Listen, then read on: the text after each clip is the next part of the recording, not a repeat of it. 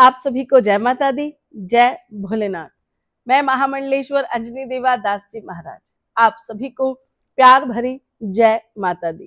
कार्तिक महात्म में चल रहा है और पवित्र चतुर्मास का अंतिम महीना चल रहा है। कार्तिक मास चल रहा है। भगवान श्री कृष्ण को अत्यधिक प्रिय इस मास में। ये वैष्णव संप्रदाय के सभी लोगों के लिए बहुत विशेष मास रहता है। मैं आप सभी को इस YouTube चैनल के माध्यम से कथा का श्रवण करा रही हूँ, कार्तिक महात्म में सुना रही हूँ। कार्तिक महात्म में सुनना और सुनाना दोनों ही सौभाग्य एवं परम सौभाग्य की बात है।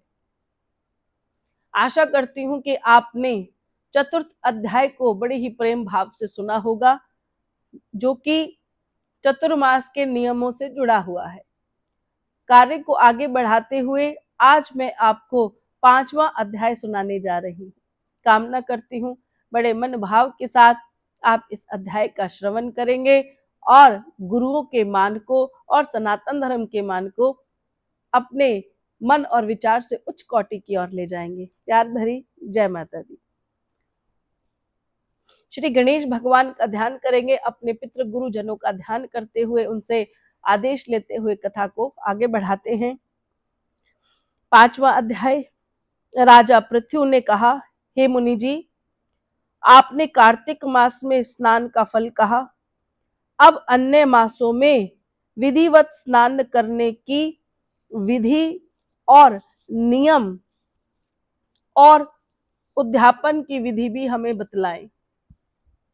ये तो बताया है कि कार्तिक मास का जो स्नान है, उसकी बहुत विशेषता है, बहुत उसका महात्म्य है और ऐसा स्नान करने से भगवान श्री हरि हमसे प्रसन्न होते हैं।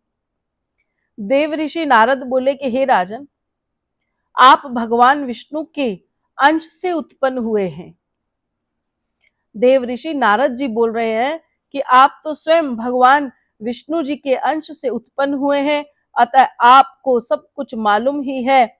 फिर भी मैं आपको यथोचित विधान को बतलाता हूँ कृपया कर आप ध्यान से सुनिए। आश्विन मास में शुक्ल पक्ष की एकादशी कार्तिक के व्रत करने चाहिए। सुबह ब्रह्म मुहूर्त में उठकर जल का पात्र लेकर गाँव से बाहर पूर्व या उत्तर दिशा की ओर जाना चाहिए। उन दिन में अथवा शाम को कान पर जनेऊ चढ़ाकर पृथ्वी पर घास बिछाकर सिर को कपड़े से ढककर मुँह को बलपूर्वक भली भांति बंद करके थूक व सांस को रोककर ही हमें मल मूत्र का त्याग करने के पश्चात मिट्टी व जल से भली भांति अपने अंगों को धोना चाहिए। उसके बाद तत्पश्चात जो मनुष्य दातुन मुख शुद्धि नहीं करता, उसके सब जो मंत्र हैं वे निष्फल हो जाते हैं। अतः दांत और जीव को अत्यंत पूर्वक, बहुत सावधानी के साथ हमें साफ़ करना चाहिए। और निम्नलिखित मंत्र पढ़कर वृक्ष से दातुन को तोड़ना चाहिए। हे बृहस्पति, तुम हमें आयु, कीर्ति, तेज, प्रजा, पशु संपत्ति, महाज्ञान, बुद्धि, विद्या हमको प्रदान करें। यह मंत्र पढ़कर दूध वाले वृक्ष से बारह उंगली की दातुन को तोड़कर हमें व्रत या श्राद्ध के दिन दातुन नहीं करना चाहिए। प्रतिदिन अमावस्या, नवमी, छठी, रविवार को चंद्र तथा सूर्य ग्रहण में दातुन करना अच्छा माना गया है। कटीले पेड़ों को, यानी जिसमें कांटे बोए हुए होते हैं, एवं कपास, पीपल, बरगद, इन सब पेड़ों की दातुन करनी बहुत शुभ मानी गई है। तत्पश्चात भली भांति स्नान करके फूल, माला, चंदन और पान इत्यादि पूजा की सामग्री लेकर प्रसन्न मन व भक्ति पूर्वक भगवान शंकर के मंदिर में जाना चाहिए। वहाँ सभी देवी देवताओं का अर्ध आचमनीय आदि वस्तुओं से अलग अलग पूजन करना चाहिए। प्रार्थना एवं प्रणाम करना चाहिए। फिर भक्तों के स्वर से स्वर को मिलाकर श्री हरि का कीर्तन करना चाहिए। जो इसमें कहते हैं कि आप सब चीज़ों से निवृत्त होकर भगवान भोलेनाथ जी के मंदिर में जाकर सामूहिक रूप से बैठकर कार्तिक मास में भगवान श्री हरि का भजन हमें करना चाहिए। मंदिर में जो भी गायक भगवान श्री हरि का कीर्तन करने आए हों, जो भी कोई ये भजन कर रहा हो, उसे माला, चंदन तांबुल आदि से उनका पूजन हमें करना चाहिए, क्योंकि देव स्थानों में भगवत कीर्तन करने वाले भी साक्षात भगवान विष्णु की ही मूर्ति हो जाते हैं। ये लोग सतयुग में विष्णु जी को अपनी तपस्या, योग और दान के द्वारा भगवान को प्रसन्न करते हैं। कहने का मतलब है कि जो आपको इस युग में कथा सुनाता है, भगवान का भजन सुनाता है भगवान का नाम जाप सुनाता है। उसने पूर्व जन्म में अपनी तप तपस्या, अपनी भक्ति, अपने दान पुण्य से भगवान विष्णु हरि को प्रसन्न किया है और इस युग में, इस काल में, इस जन्म में उसे जो है सभी लोगों को पूजना चाहिए क्योंकि उसने भगवान विष्णु को प्रसन्न करने के बाद ही वह जो स्थान है उसे प्राप्त किया है। कलयुग में भगवान श्री हरि का भजन करना, उनका गुणगान करने से भगवान श्री हरि हमसे प्रसन्न होते हैं। और इसमें लिखा है कि कलयुग में भगवत गुणवान ही भगवान श्री हरि को प्रसन्न करने का प्रधान साधन माना गया है। नारद जी ने राजा पृथ्वी से कहा, हे राजन, मैंने एक बार भगवान से पूछा, हे प्रभु, आप अधिकतर कहाँ रहते हैं? नारद जी ने राजा को बताया है। यह सुनकर भगवान ने कहा, हे नारद, मैं ज़्यादातर बैकुंठ तथा योगियों के हृदय में रहता हूँ। क्योंकि भगवान श्री हरि का जो निवास स्थान है, उसे बैकुंठ धाम कहते हैं।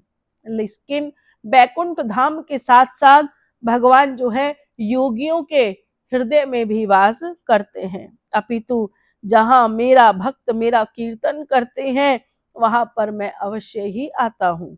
जो मनुष्य चंदन माला आदि से मेरे भक्तों का पूजन करते हैं, उससे मेरी ऐसी प्रीति होती है, जैसे कि मेरे पूजन से भी मुझे नहीं मिल सकती है। इसलिए मैं कई बार ये बात करती हूँ कि जो कोई सच्चा भक्त है, आप उसका कभी भी निरादर मत कीजिए। क्योंकि ये सत्य है कि भगवान अपनी पूजा से भी उतना प्रसन्न नहीं होते जितना अपने दासों के मान को रखने पर भगवान श्री हरि आपसे प्रसन्न होते हैं। इसलिए जाने अनजाने में भी हमें कभी किसी के लिए ऐसे शब्द नहीं कहने चाहिए जिससे हमें अपराध लग जाता हो। भगवान श्री हरि तो स्वयं कह रहे हैं कि मुझे अपनी पूजा से भी उतना आनंद नहीं आता है, जितना कि अगर कोई मेरे भक्त का पूजन करता है। शिरीष धतूरा, गिरिजा, चमेली केसर और कंदार तथा कटहल के फूलों व अक्षतों से भगवान विष्णु जी की पूजा हमें नहीं करनी चाहिए, क्योंकि कटहल, कंद, गिरीश, जूही, मालती और केवड़े के पुष्प से भगवान शंकर की पूजा भी हमें नहीं करनी चाहिए। लक्ष्मी जी के इच्छुक पुरुषों को तुलसी पत्र से सूर्य नारायण की पूजा भी नहीं करनी चाहिए। जिस देवताओं की पूजा में जो फूल निधिष्ट है, उनको हमें उनकी पूजा में नहीं करना चाहिए। यानी शास्त्र युक्त में लिखा गया है कि जो बहुत सारे फूल, पुष्प, जो भी औषधि है, हर औषधि सभी भगवानों पर नहीं चढ़ाई जाती है। इसलिए हमें उसी प्रकार के फूल औषधि का इस्तेमाल करना चाहिए, जिस भगवान की हम आराधना करते हैं। पूजन समाप्त करने के पश्चात भगवान से क्षमा प्रार्थना करें। हे सुरेश्वर, आप सभी अपने हाथ को जोड़े और ये क्षमा प्रार्थना करें कि हे सुरेश्वर, हे देव, मेरे पास ना तो कोई मंत्र है, ना क्रिया। मैं भक्ति से ही आपसे जुड़ा हुआ हूँ और जो कुछ भी पूजा मैंने आपकी की है, उसे पूरा आप ही कर सकते हैं। ऐसी प्रार्थना करने के बाद दंडवत प्रणाम व दो क्षमा प्रार्थना करके भगवत कीर्तन करना चाहिए, दंडवत प्रणाम पुरुषों को करना चाहिए और स्त्रियों को घुटने टेक कर भगवान के सन्मुख उनका माथा टेकना चाहिए। श्री हरि की कथा सुननी चाहिए और प्रसाद ग्रहण अवश्य करना चाहिए। इस प्रकार बताई गई विधि के अनुसार जो मनुष्य कार्तिक व्रत का अनुष्ठान करते हैं, वे संसार के सभी सुखों को भोगते हुए अंत में मुक्ति को पा जाते हैं। इसी करके भगवान श्री हरि जी को भगवान भोलेनाथ जी के मंदिर में बैठकर, जो प्रभु भोलेनाथ जी के सन्मुख होके हरि नारायण का कीर्तन करते हैं, भगवान हरि जो है, वे उनसे बहुत ही प्रसन्न हो जाते हैं और भोलेनाथ भी ऐसे भक्तों से प्रसन्न हो जाते हैं। और इसी करके जो है कार्तिक मास, चतुर्मास का अंतिम मास बताया गया है।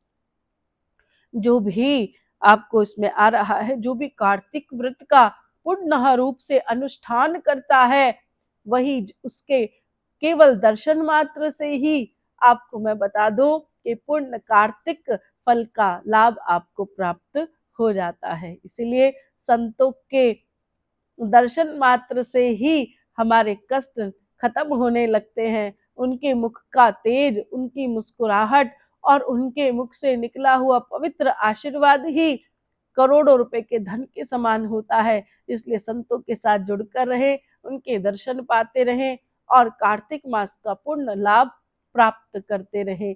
आप सभी को प्यार भरी जय माता दी, जय भोलेनाथ।